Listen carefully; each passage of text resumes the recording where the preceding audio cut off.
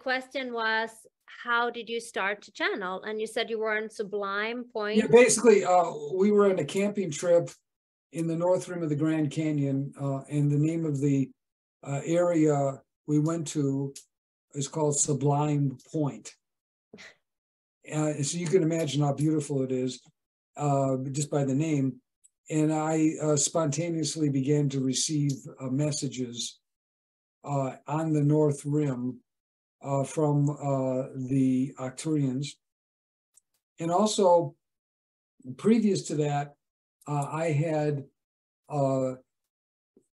been studying the Arcturians through a book, a well-known book called uh, Connect. Uh, it's called uh, "We the Arcturians" by Norma Milanovich. Okay. And after I read the first chapter of the book, I put the book down and I immediately started channeling them. I said, I, and I know who these people are, and I've been with them before, and I started channeling them. Oh, nice. Yeah. Did you uh, feel? How did it feel in your body when you were channeling it first? It just felt real natural because the channeling, to me, is like somebody's talking to you uh, in your mind telepathically, and you begin to uh, speak uh, the, their messages. The the other thing is that uh, I had been a student of the Kabbalah for many years before then, and the Kabbalah has has talked about uh, channeling. They they call it in the Kabbalah automatic speaking. Mm. And, and it, it, it's a well-known procedure in the 16th and 17th centuries uh, with the uh, ancient rabbis, where they would do automatic speaking. so uh, I was familiar with the concept. Finally, uh, I uh, had moved to Arizona uh, in the 1987, 88, 89 uh, time period. And I was very, I lived very close to Sedona. And there was uh, lots of channeling going on in Sedona. Lots at this time, there was lots of seminars, etc. And I attended those. So, you know, I was very familiar with the, the practice. But the, also I had a lot of support uh, both from my wife and some other people who encouraged me to continue uh, uh with this. Uh, and then uh, I, I, began to channel lectures, uh, and a person contacted me from Ohio and wanted to put together a book of the channeling. This was in 1995, and that's how the first book got printed and published uh, by this uh, man who uh, wanted to put together the, the, channeling. And the name of the first book is Connecting with the Arcturians. Wow, that's fantastic. That's this book then that I'm holding in my hand, I'm assuming. Right, that's a, that, that's right. And the book that you have there in the hand, that's the uh, second edition.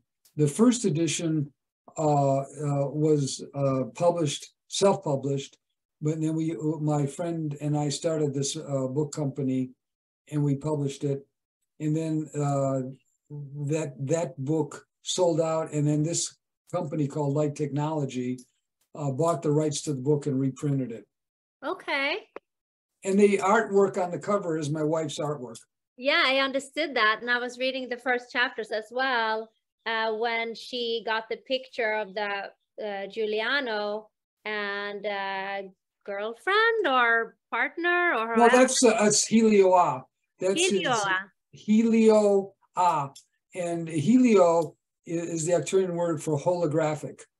Uh, oh, and, and, so um, the the Helio-ah uh, is a uh, Arcturian guide and colleague of Juliano and she focuses uh, more on personal healing work mm. as opposed to Juliano is uh, uh, focusing more on general information and knowledge, especially about the ascension, about planetary healing techniques, uh, and uh, also uh, on how to connect uh, and work with your energy field for the ascension.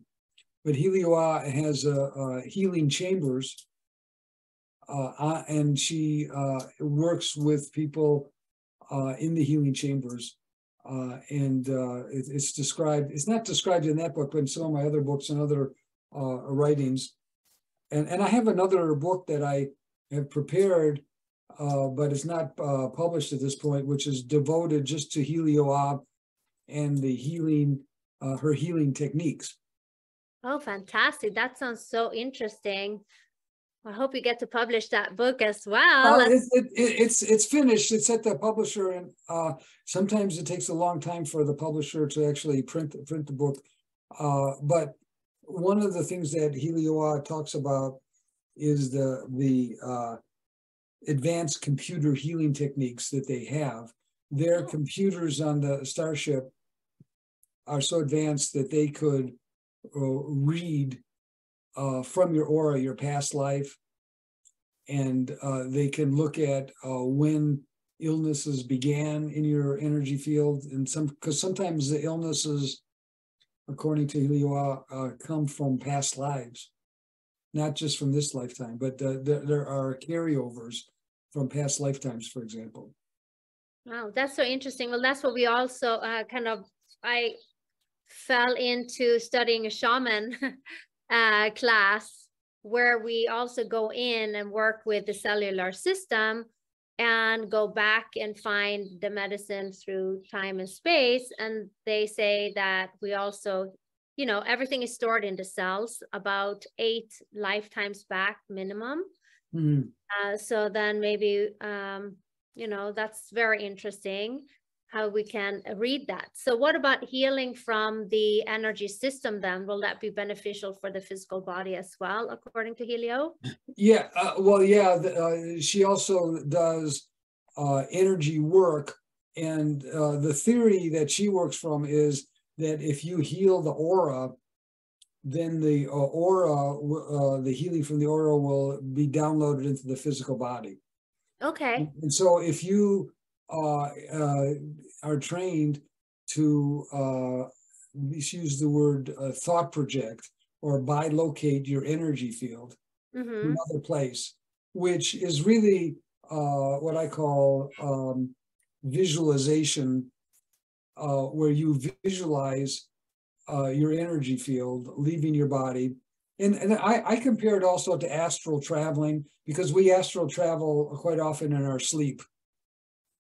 And the technique of thought projection, Arcturian technique of thought projection is to take your astral body and thought project it to uh, her healing chambers on her starship. And then she works on the uh, astral body in the starship. And she has several techniques, which include uh, spinning. Spinning is taking the uh, energy field, the aura, and spinning it so that you remove the lower densities in the aura. Hmm. Uh, and then uh, she also will uh, take out, uh, it's almost like pulling weeds uh, out of chakras uh, and, and other blocks and basically purify your energy field. Now, it's, it's, a little more complicated than what I described, but that's that's the basic idea.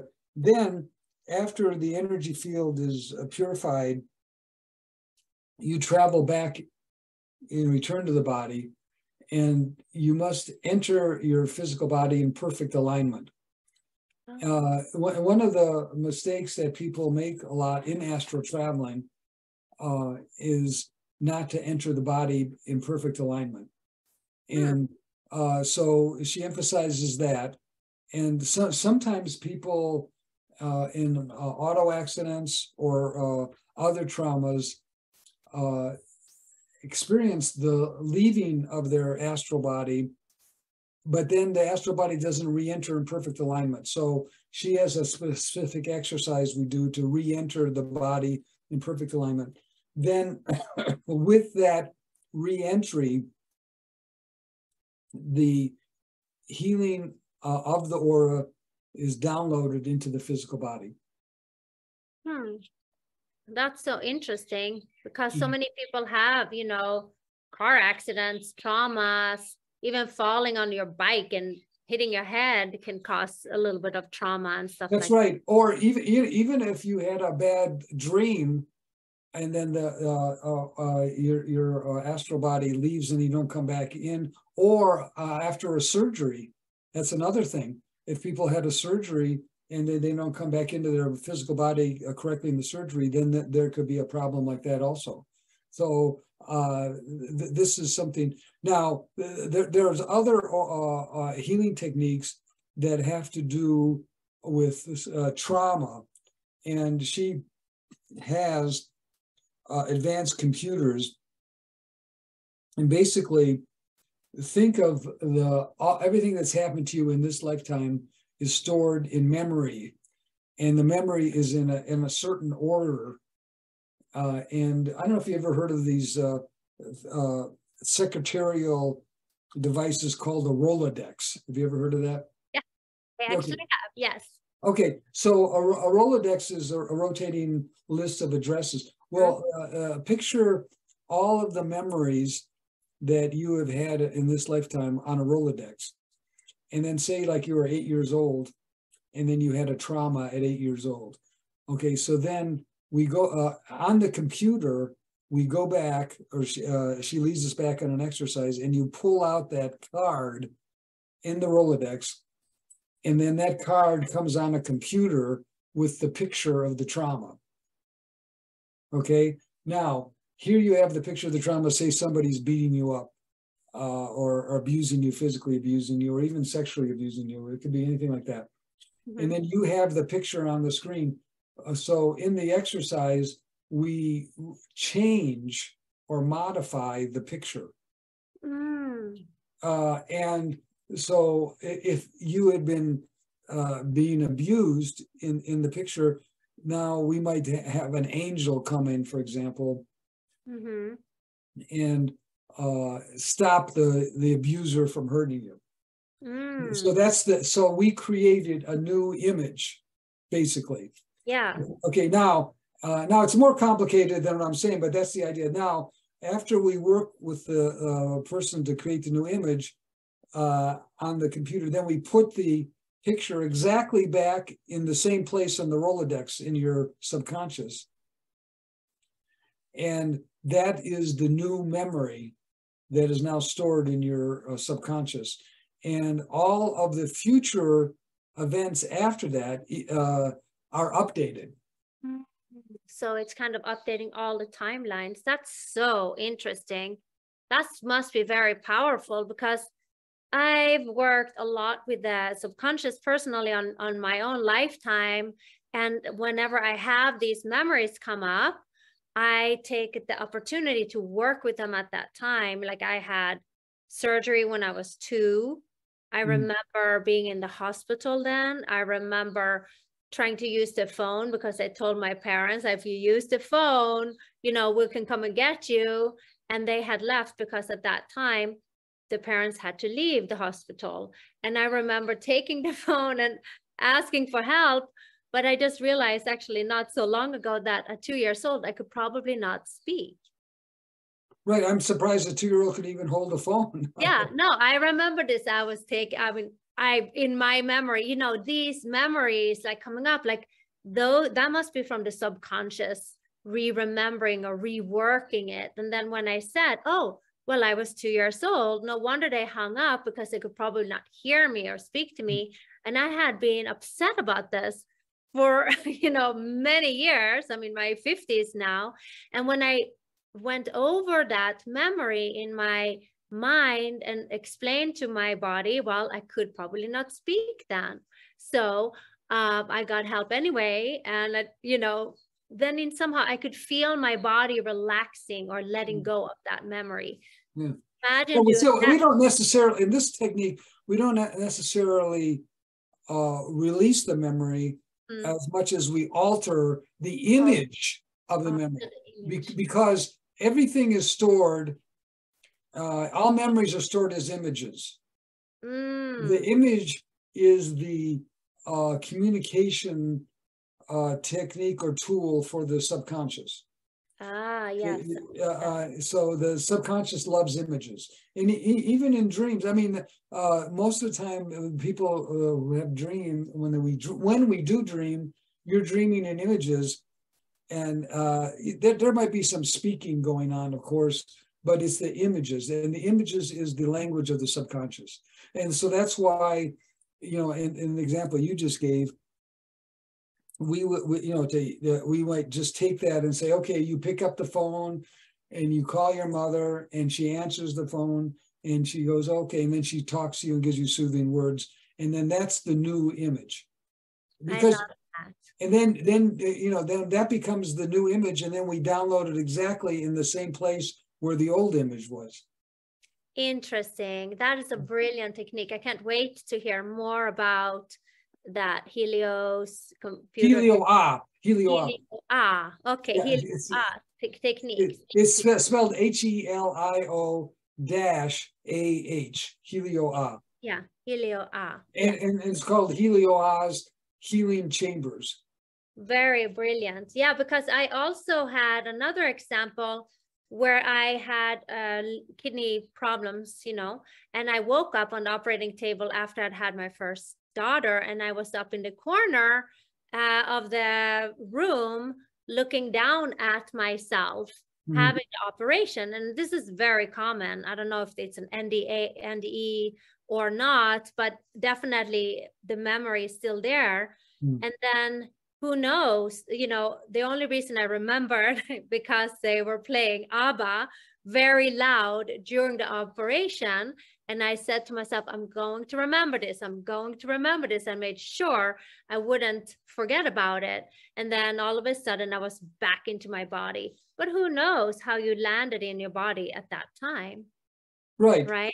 Okay. And maybe you uh, re-entered in, uh, you know, perfect alignment. I don't know. It's, I hope so. Well, I better redream it in the in the uh, shaman way. We talk about redreaming the reality, mm. and that's kind of uh, similar to Helios. Helio-ah. Helio-ah. Uh, way of doing it with the images for the subconscious. Mm. Really brilliant. I'm looking forward to reading that book when it comes out. Right. Right. Yeah. Uh, and uh, a, a, lot of people, uh, when they contact me, uh, want to do healing work specifically with Helio. She also talks about the holographic healing. And uh, holographic healing refers to the fact that we are multidimensional.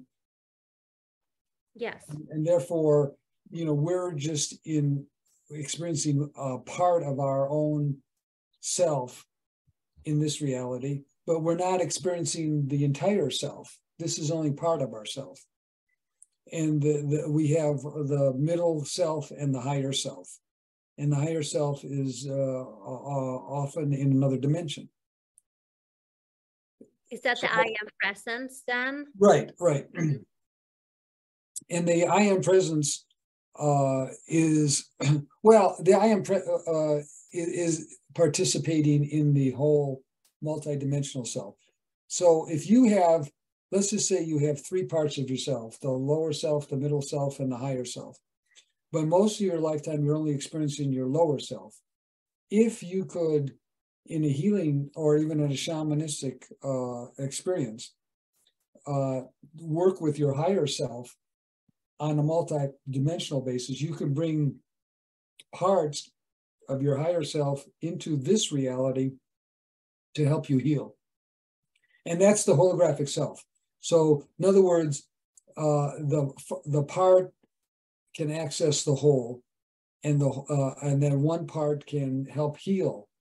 Uh, a higher part can help heal the lower part.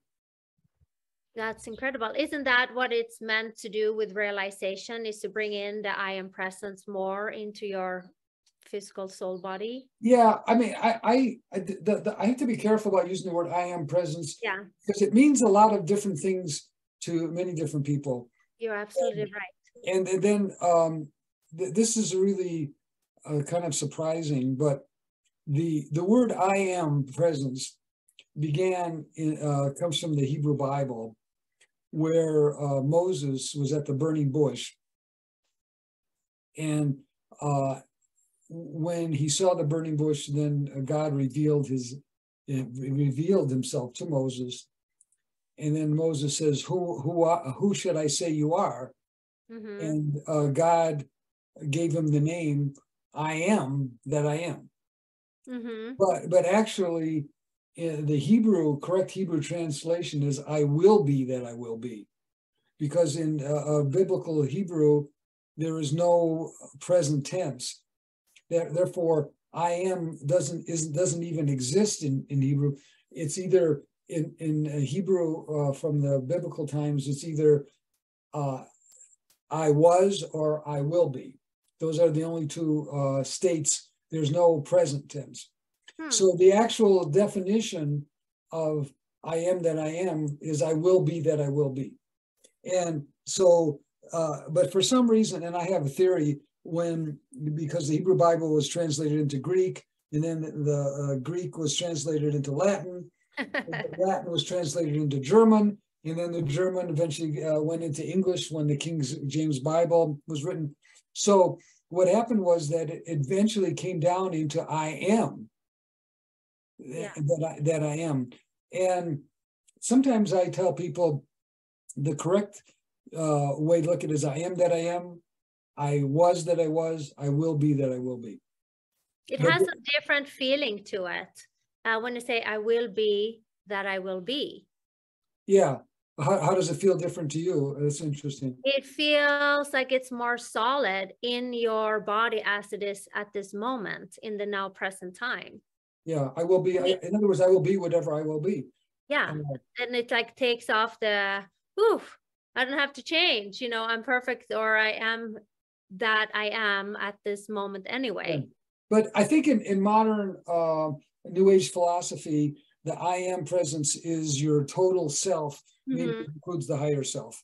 Uh, I- Yeah. I, I am that uh, that I am, but I, I will be that I will be it was actually uh, the God's name that was given, and in Hebrew it's called Ehiyeh Asher Ehiyeh, uh, so that's what you say ehir asher is Ehiyeh ehie Asher Ehiyeh Eh- Asher Ehiyeh.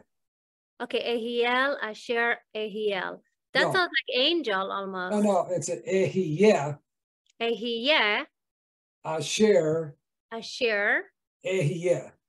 ehie I could write that in the chat if you want. i to. love that yeah Yeah. i Yeah, love yeah. hebrew because it's very clear you know Right, yeah, so that, so that was the name that, that God revealed uh, to Moses at the burning bush, because Moses says, well, who should I say you are? What should I tell the people? Who, what is your name? And God said to uh, Moses, Ehiyeh, Asher Ehiyeh. Uh, that, that's, I will be that I will be. That's, that's one of, one of the names. But that, that's one of the names. Now, interestingly, when I'm working with the Arcturians, they uh, acknowledge uh, one of the names of God that does appear in the uh, Hebrew Bible, the name Adonai, which is uh, also uh, uh, translated as my Lord in English. And the uh, the, the uh, Arcturians are saying that that word Adonai is known in the galaxy as, as, as a name of God. And the Wow. Arcturian, the Arcturians do uh, acknowledge the existence of Adonai, for example. i love that i love adonai Hmm. Right, fulfilling beautiful word right, yeah. So uh Adonai means my my my Lord. Uh and uh anyway, there there are lots of different there's about 10 different names uh of God that are described in the Hebrew Bible. And Adonai and Ehiyah, Asher Ehiyah is uh, uh, are two two names that are uh, are described. So The you- one go ahead. So you take uh, healing sessions from people that call in. How can they get in touch with you? Oh, they could email me uh, if they wanted to. Uh, and also if they go to my website, uh, at the top, there's a link that, uh, you, click that goes into, uh, healing sessions with David Miller. No, and- that would be great. I would Yeah, like to look to that link myself. Yeah, right, right. So, uh, but, but I'm, uh, the other name of God that's very well known, everyone knows is called Yahweh. Yes. Uh, But, but, uh, that's, uh, supposedly, uh, a mispronunciation because the, that, that name is not pronounced in, in the traditional readings of the Hebrew Bible. How do you pronounce it then? You, you're supposed to say, instead of every time you see the letters of Yahweh, you're supposed to say either Adonai or the name. And the name in Hebrew is Hashem. Hashem. Okay. So because kind of like a salute then? Right, because uh the the the the four letters that compose Yahweh, YHVH, is known as the Tetragrammaton, uh, which is the four-letter name of uh, God. And the Tetragrammaton is a Greek uh, word that means the four letters. And so that that four-letter name is not supposed to be pronounced because it's so sacred. So it, you're supposed to substitute it for the name my Lord. Oh, right. I yeah, love that. that. So you can yeah. just say Adonai instead or Hashem. Or, or Hashem. Hashem. Hashem. The, the, name that, but uh, I, you know, but the, the name Yahweh has become so popular in modern English. You know, it's it's it's hard to um, get people uh, to change their understanding of that name. So sometimes I just tell people just do YHVH, YHVH, which is the four-letter name of God. You can just say YHVH. And in Hebrew, it's a Yud Hey Vav Hey. By the way, that that's sort of a y, that which is the Hebrew for YHVH. So, how long have you been studying uh, the Kabbalah? Uh, at least for thirty years, probably. Wow.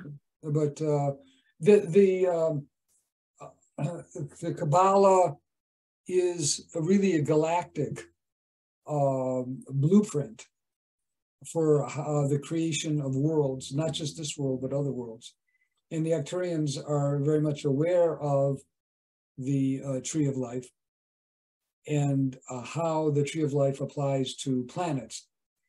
And uh, the, the tree of life, as I uh, describe it, has 10 spheres and these spheres are uh, um, opposite each other. Some of them are, are uh, in configurations of opposite. Uh, uh, so, for example, one side is compassion and loving kindness, and another side uh, is um, uh, justice or punishment and judgment. And the, when I look at those two, I, I, use that as an example in the uh, in the Arcturian teachings because if you look at a planet, yeah, if you look at a planet, uh, if the the planet is too uh, liberal, too free, uh, and people do whatever they want, then things get out of control and and out of balance. And so you have to have uh, be tempered with balance. So if you go back up to the top, uh, uh, right there, okay, right there, stop right there. Okay, so one side, uh, a little bit higher up, please. Uh, you have one side is loving kindness, and the other side is strength, discipline, and judgment. Okay, so right now, uh, the Arcturians evaluate our planet and say that we, the planet, we've been taking advantage of the planet we have been uh, allowing too much freedom. People have been able to do whatever they want. You know, if you want to go into a mountain and dig up the mountain, go. You can do that. If you wanted to pollute the ocean, uh, dump sewage, you can do that. In other words, th- that uh, there was uh, compassion for whatever you want to do. But after a while, the planet got, uh, as we now see, is out of balance, and the planet will have restriction and judgment on the planet, which will cause a great deal of upheaval to force people to uh, pay more attention and to be more disciplined. Yeah, and then isn't that what we're learning from the indigenous ones and the Arcturian and with your planetary healing?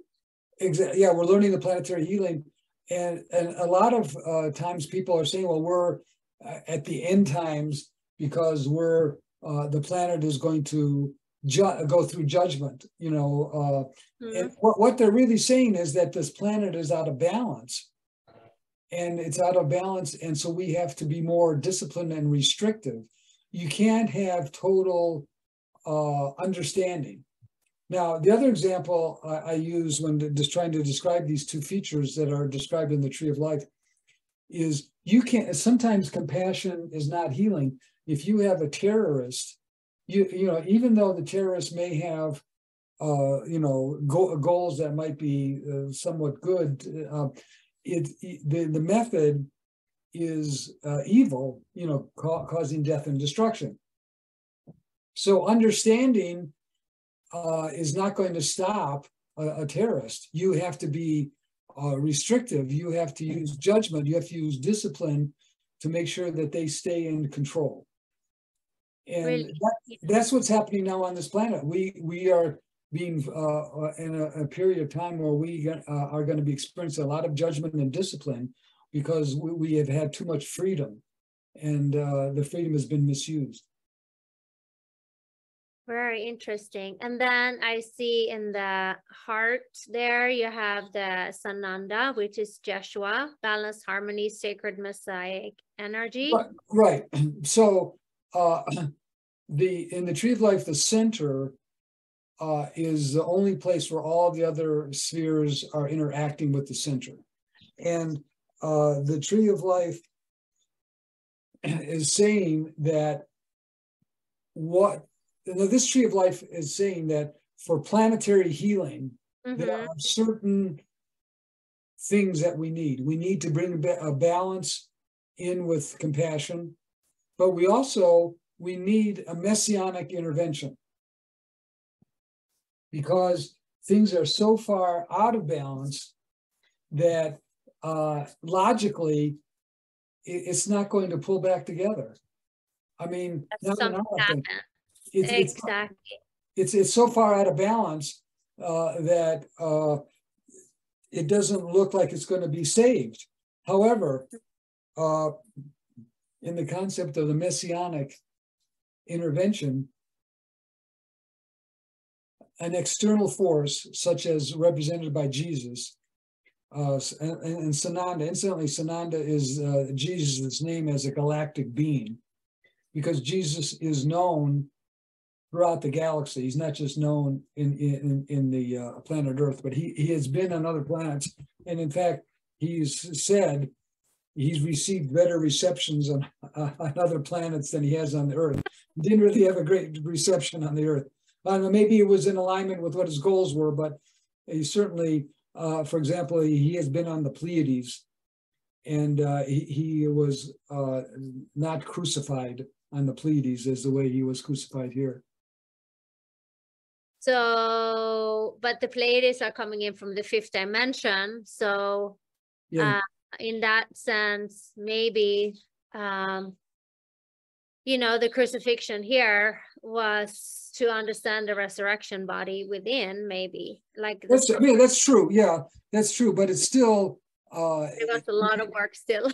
there's a lot of work in the it. misunderstanding of all the different not that i want to talk politics or religion but i like spirituality so i accept all kinds of you know spiritual understanding so we can understand how to work and live in this avatar and i think that that was taken definitely out of uh, control so now i feel like the younger people they don't even you know we are like hungry for this kind of information that you can share so that we can Mm. work with this avatar of a body and realize ourselves you know Right. Now, and- this tree, this tree of life also applies to personal healing. yes Because, uh, for example, uh, a lot of people are overly judgmental of their self. yeah it's terrible what is that a program or something Well, it, it, it comes from, uh, yeah, you're right, absolutely right. It comes from a program, overly restrictive parents, for example. Uh, and I think that Freud called it the super ego, which is the, the, the parenting self was overly critical. And uh, if you're overly critical, you can't grow. But at the same time, if you have no self-criticism, that's not good either. It- it- the whole point of the tree of life is that you have to be in balance. balance yeah so bal- yeah fantastic i'd love to learn more about that Yeah. uh, the tree of life i've done some classes on it uh you know i've tried to really read about it but it's a lot it's a lot it's never really, it's, I, I I find that it's very difficult to find good explanations of it. So, exactly so for example, the, the, the, the top two, uh, not the very top, are, uh, the, um, understanding and wisdom. Yes. The very top. Okay. Well, you can understand that. Uh, number two and number three, you can understand as the right brain and the left brain. Yeah, I've heard that. Yeah. Mhm. So instead of trying to figure out all this other things, uh, well, wisdom uh, is is really uh, tied in closely with intuition, and understanding is tied uh, really closely with knowledge. And and so uh, okay, so the right brain and the left brain, people understand that now, Mhm. and um, it's just like each sphere has a spirit guide. And uh, the, the the problem is that the spirit guides in the ancient Kabbalistic literature were the patriarchs, uh, Abraham, Isaac, Moses, Joseph, uh, King David. And the Arcturians uh, told me that we needed to update them to modern spirit guides so that they uh, can be more easily understood uh, by the modern New Age culture, because the modern New Age people aren't that much into the uh, patriarchs of the Old Testament. No, I don't think so. But we understand Metatron, love that vibration, very mm, powerful and strong. And then Archangel Michael, Hmm. um, you know, about The the other one, if you look at uh, number uh, nine, Yeah. number nine is the creation of sacred places and planetary cities of light. Hmm. So, uh, and it's uh, Mary, uh, her Hebrew name, uh, Mary's Hebrew name was Miriam. Mhm. Uh, and this is Mother Mary from the, the uh, uh, New Testament. But what, what they're saying is that we do, uh, are, uh, do not have enough sacred places on the planet. We need more sacred places. We need to protect more places on the planet. In order for this planet to come back into balance. Okay, that's a good information. What about creating uh, like a sacred place? Um, you know, I I always think that if you use your own personal body and your personal lifestyle, then you can add that to the planetary lifestyle. So if you have sacred place in your home, if you have a dedicated area or room for meditation, or you bring in your sacred object, Correct, correct. You're absolutely correct. then Yes. it will be easier to see those sacred places around us as well. Mhm. Or- Yeah, Yeah, or the uh, the other side, uh, from the other end also, when you go to a sacred place, like you went to uh, the Sublime Point in the Grand Canyon, that place, you know, initiated you vastly, and then you brought that home and maybe wanted to replicate Yeah. something similar you- can you go down to the bottom of the tree light? Yeah. One thing I wanna- And then I'm gonna have to stop here because it's Yeah.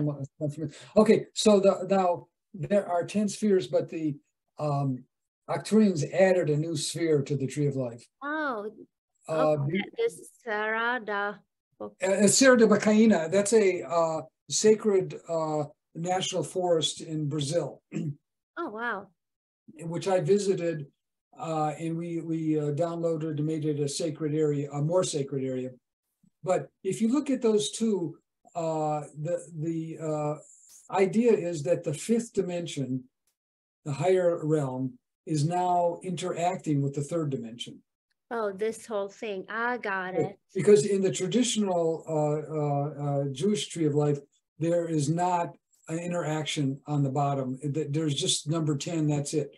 But on this one, it's, it's demonstrating that now, at this time on the planet Earth, the fifth dimension is beginning to interact more with the third dimension.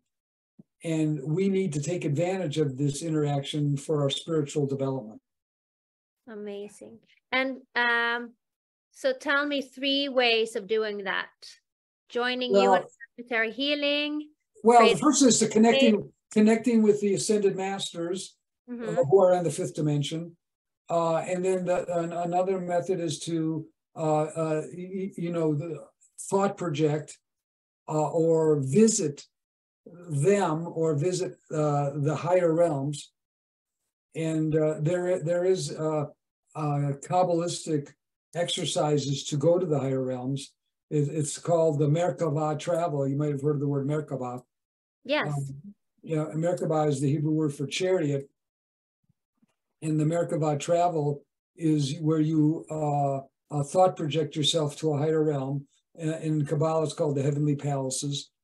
So you, uh, and, and then the third thing is that you bring back down the light and energy from the fifth dimension into the third dimension. Mm. Great. And then that's brilliant. And who is this last uh, ascended master? Vywamus, eh, okay, so Vywamus is a soul psychologist that I channel. And uh, he so he helped develop, and I have one book totally devoted to soul psychology. It's called Fifth Dimensional Soul Psychology, and it's based on my my work as a uh, a, a, soul therapist uh, and uh, working with people in their past life therapy, uh, working and trying to understand uh, how problems from this lifetime came from the past life, and then also uh, doing uh, life between life therapy or other techniques. In other words, when you look at problems you're having in this lifetime, you then say in soul psychology, what is my soul lesson that I'm supposed to learn from this problem? Mm. Which is not easy because especially if you're suffering and, having yeah. a, you know problem you know you, you say well this is part of my soul lesson. Nobody wants to hear that. You just want to get better, right? But but uh, they're usually and almost all the time is there's some kind of soul lesson. So okay, it was great talking to you. Thank you, thank you, thank you so much for your time.